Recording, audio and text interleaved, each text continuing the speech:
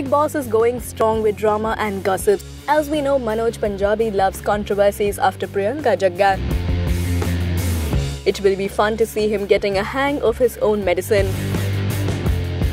Lopamudra, who is very soft and calm, recently lost her cool on Manoj and during an argument asked him to kiss her ass.